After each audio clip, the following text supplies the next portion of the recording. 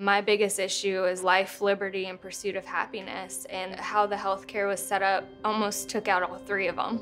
A few years ago, I ended up having a cyst, and it is a very painful, like you can't even move. When this cyst kept coming back, I would keep going into a little side medical unit, and finally I was like, I can't do this. And the doctor was like, yeah, we need to get that taken care of. But, and she, I will never forget this, she stopped and she goes, have you considered your financial options?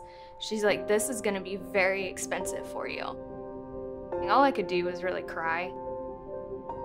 Trying to figure out just how much it would be was, all I had was Google. So it was just very hard because I was like, I don't care what it costs at this point because I don't want to live this way anymore. After the surgery, I was just waiting for the bill. It was over $20,000. It made me so mad.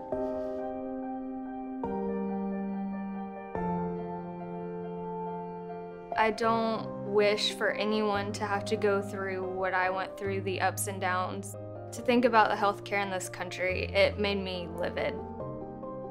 There definitely needs to be changes. There's no way that us in the United States have to live like this.